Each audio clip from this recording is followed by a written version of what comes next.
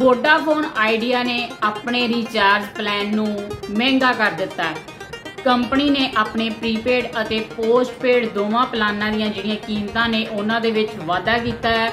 ਇਸ ਨੇ ਇਹ ਪਹਿਲਾਂ 2021 ਦੇ ਵਿੱਚ ਆਪਣੇ ਪੋਰਟਫੋਲੀਓ ਨੂੰ ਅਪਡੇਟ ਕੀਤਾ ਸੀ। Jio Airtel ਦੇ ਵਾਂਗ VI ਨੇ ਵੀ ਆਪਣੀ ਜਿਹੜੀ ਟੈਰਿਫ ਦੀ ਕੀਮਤ ਹੈ, ਉਹ 20% ਜਿਹੜੀ ਉਹ ਵਧਾ ਦਿੱਤੀ ਹੈ। ਕੀਮਤ ਦੇ ਵਾਧੇ ਤੋਂ ਬਾਅਦ 179 ਰੁਪਏ ਤੋਂ ਸ਼ੁਰੂ ਹੋਣ ਵਾਲਾ ਪਲਾਨ 199 ਰੁਪਏ ਦਾ ਵਿੱਚ ਜਿਹੜਾ ਉਪਲਬਧ ਹੋਵੇਗਾ।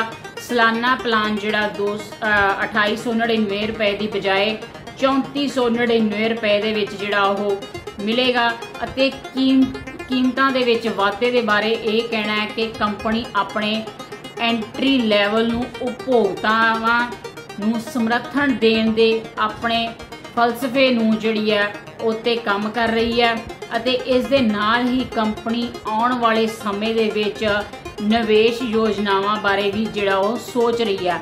ਕੰਪਨੀ ਆਪਣੇ 5G ਨੈਟਵਰਕ ਦਾ ਜਿਹੜਾ ਉਹ ਵਿਸਤਾਰ ਕਰ ਸਕਦੀ ਹੈ ਅਤੇ ਇਹ ਸਾਰੇ ਪਲਾਨ ਜਿਹੜੇ ਅਨਲਿਮਟਿਡ ਨਾਈਟ ਡਾਟਾ ਅਤੇ ਡਾਟਾ ਰੋਲ ਓਵਰ ਦੀ ਸਹਾਇਤਾ ਜਿਹੜੀ ਹੈ ਉਸ ਉਹਦੀ ਵੀ ਸਹੂਲਤ ਜਿਹੜੀ ਆ ਉਹ ਦਿੱਤੀ ਜਾ ਸਕਦੀ ਹੈ ਅਤੇ ਇਹ ਨਵੀਆਂ ਯੋਜਨਾਵਾਂ ਨੇ ਜਿਹੜੀਆਂ ਇਹ 4 ਜੁਲਾਈ ਤੋਂ ਜਿਹੜੀਆਂ ਉਹ ਲਾਗੂ ਹੋ ਜਾਣਗੀਆਂ।